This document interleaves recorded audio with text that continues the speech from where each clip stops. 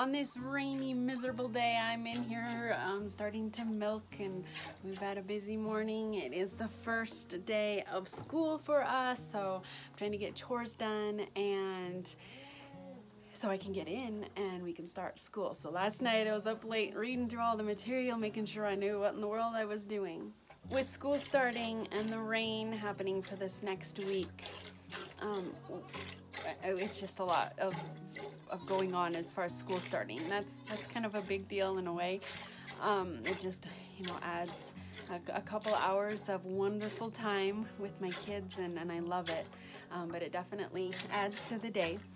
But um, after we get through the really just sloppy rain, um, there is a lot to be done to get ready for winter, and so there's gonna be a lot of cleaning and fixing the roofs, pig shelters. Underneath the goat feeder, I need to ask Bill to help me get that all um, with the tractor, get it all pushed up. So I really want to try this. This is something I'm not sure I can convince Bill. He's actually talked about it too, but he's pretty worn out. But to buy a, um, people around here bale up sainfoin hay. So it's kind of like alfalfa, but not. It is, um, it has pink flowers. It's just gorgeous when they're it's in full bloom. And cows, cows and goats can eat it um, without getting bloat. And and they and the stems are actually um, a lot less stemmy. And so I think I've read that goats are more likely to eat like most of it or, or more of it than wasting it. Um, and so I would love to buy a couple of the big square, uh, round, big round bales. And then what we would do is roll it out into our hay hayfield. And then with the baler, um, bale it up into square bales. That way we can put it in the barn here and um, and it would be protected from the, the rain and stuff. We wouldn't have a, we don't have a way really um, to feed round bales are hard and so there really isn't a way to feed it well to the goats um, just the way that we're set up in in a round bale and this is something to just be aware of and be careful about um, there was a situation of a, a, good friends of ours that owned goats and they put a round bale in with their goats. And once they got into it and were eating it and you know once it gets smaller the goat started to probably you know jump up on it and and you know stand up on it to eat.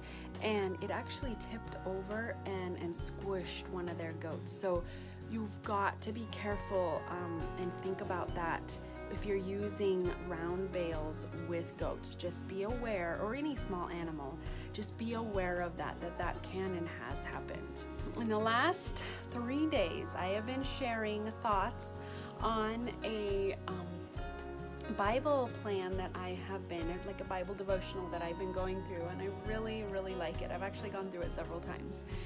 And so if you want to watch and listen to the first three days, you can find those and the previous days on my channel. And today is we're going to fast from the thought that says, I am not loved. Now this reading plan can actually be found if you um, have YouVersion on your phone, you can find this plan and go through it yourself. So you can find it on there if you type in, um, I believe it's called fasting 40 days of fasting from negative thinking or something like that so if you type that in you should be able to find it um, but it is really good so today I just wanted to share um, the thoughts from it that are, um, we're going to fast from the thought that I am not loved. Love is something that anchors us. It anchors us to everything. It anchors us to this world. It anchors us to um, what happens to us after this world. It anchors us to our family and ourselves. And really, it is the anchor to our relationship with God. But it's funny, in a world where we have so much connection, I believe we're experiencing the worst disconnection ever. And so many people are feeling unloved. And that needs to stop. If you right now are feeling unloved, or if you ever have in the past felt unloved, or you know people who feel unloved, please keep these reminders in mind. We need to realize that God loves us. And it is not something that we earn. It's not something at all that we buy. It's something that was given to us.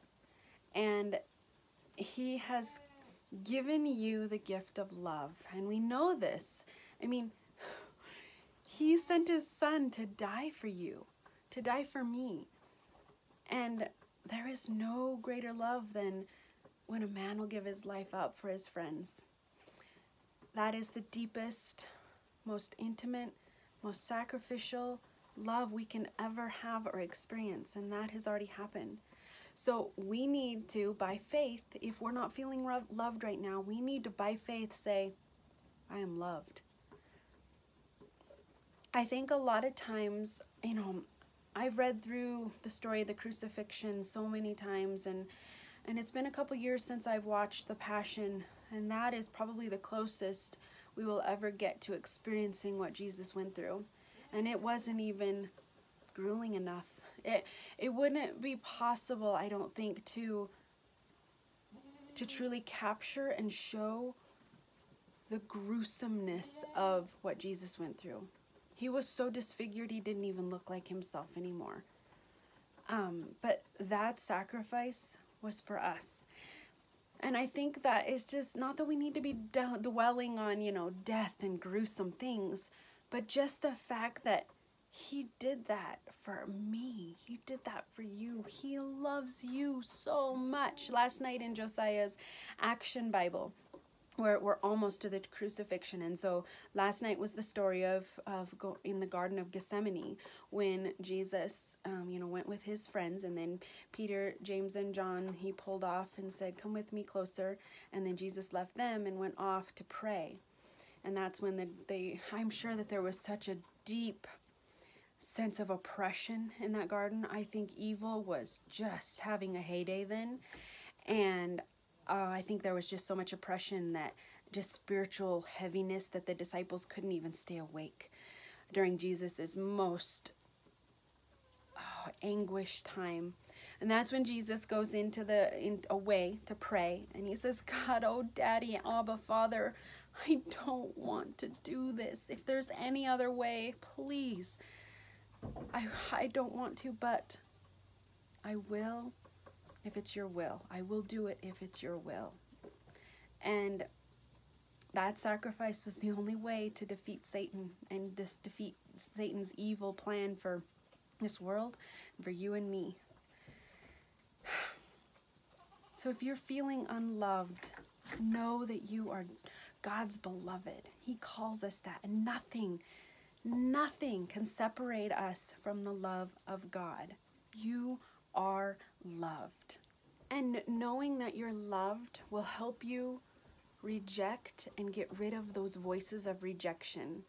They may be, maybe they are coming from outside sources, your husband or your brothers or sisters or your friends or whatever. I don't know your situation.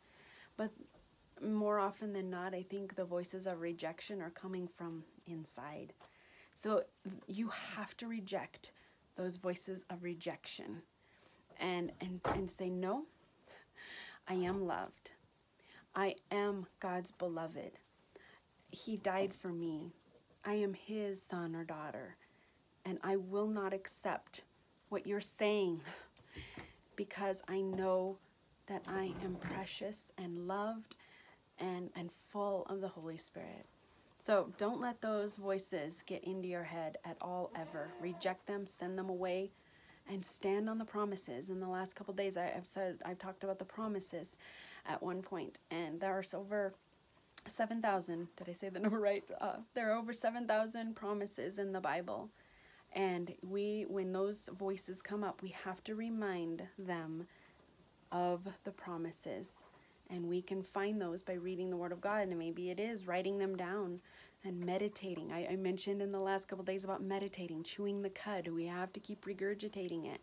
So you need to, whether it's putting sticky notes on your mirrors or all over your kitchen or something that says you are loved according to um, these scriptures, that you need to get those out there uh, so that you can can continually remind yourself of it.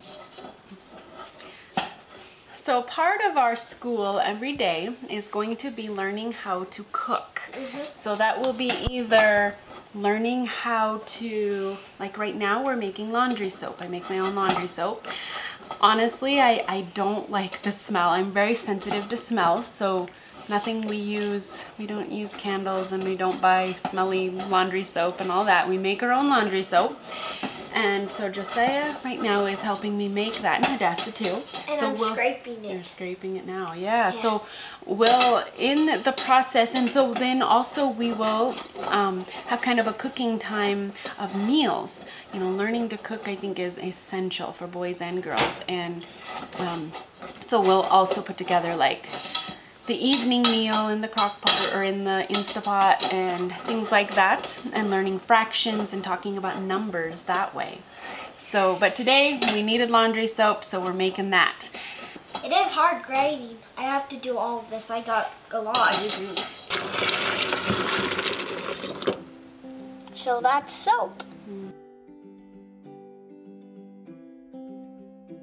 If you've never heard of Mighty Nest, it's awesome. I'm gonna leave a link below for you to check it out. So basically it's like Christmas every single month. They pick out and send you items that they um, that they love and that they think you'll love. And a lot of times they are um, very um, efficient, energy saving um, items and health items that are made of more natural things so that um, you can bless your family with health and no more chemicals. And so I really love it. Um, so this is one of the things that we got was a germ fighter synergy essential oil roll on and so these guys they I don't know they picked up a bug somewhere and they're kind of biting the snotty noses so I've been putting this on them and, and it seems to be helping so I'm not much into the uh, essential oils and um, and and not that I, I really like essential oils but um, it's it's just one of those things I just haven't done yet. And so it smells great and it's good for them and and so just be sure to check that out. When you watched us making the soap, um, that awesome spatula, I have now gotten two sets of those. I actually requested another set because I love them so much. They are awesome and so that's one of the other things that you can get.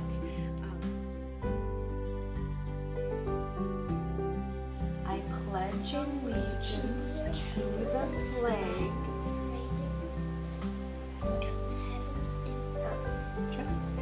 Beginning, God created the heavens and the earth. Mm -hmm. That is history. That is the beginning, first thing ever that happened in history.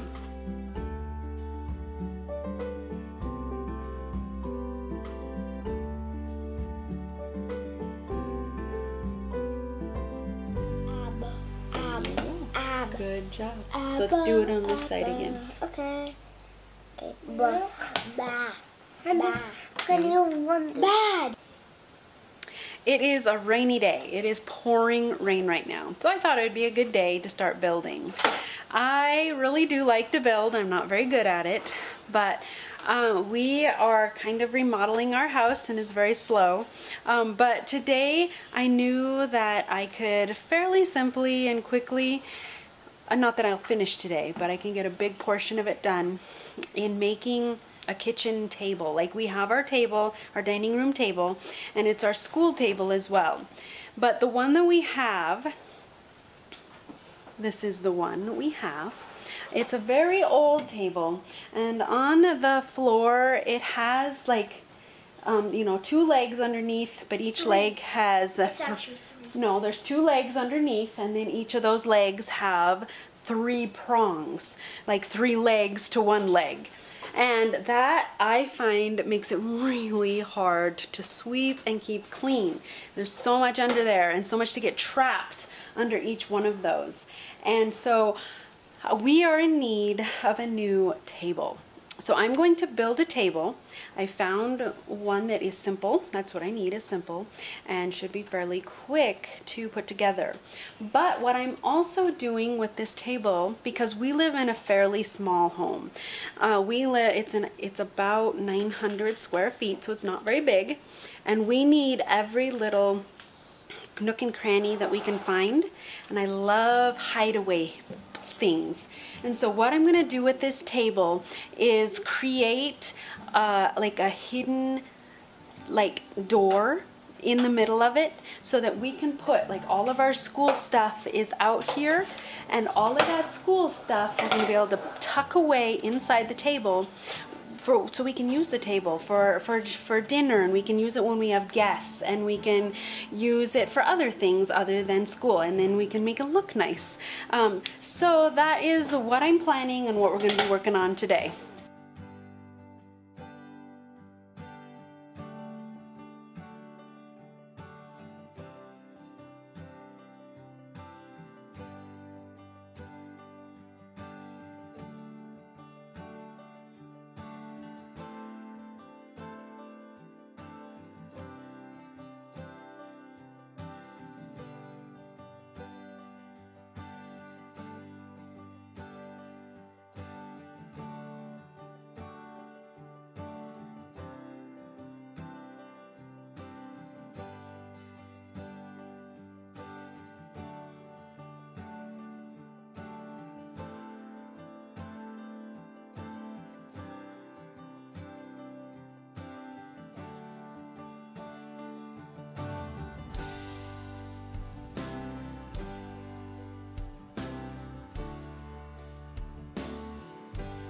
So the table's right here. So, basically the foundation is done. It did take all afternoon uh, because I'm not very good at building. I want to be a good builder, but I'm just not very good at it.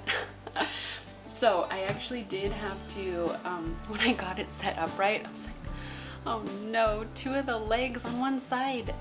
I don't know, I had it flat, you know, upside down. I don't know how that happens, but two of the legs were both perfectly crooked. like they both matched perfectly how crooked they were. It's like, I gotta redo that. So I did just take off um, two of these legs and, and completely straighten them and, and put them back on. So I feel better about that.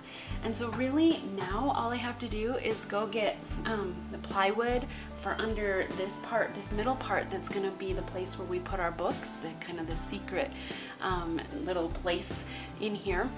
So I've got to get the plywood and get that hooked on really well and then um, get the top for it and figure out how to get that all um, hooked in and you know just placed really well. Um, I think I also will do some sanding um, and then the polyurethane. So it's really fairly close to being done. Although I found that doing the doors, they, you know, with the hinges, I find that to be really hard. And I guess I gotta decide what kind of hinge to use. I could use a piano hinge, or I've got these other fancy hinges that contort in all different ways, but they're really hard to place right. But I really like how they work and they're really strong. So I'm kind of debating which one to use.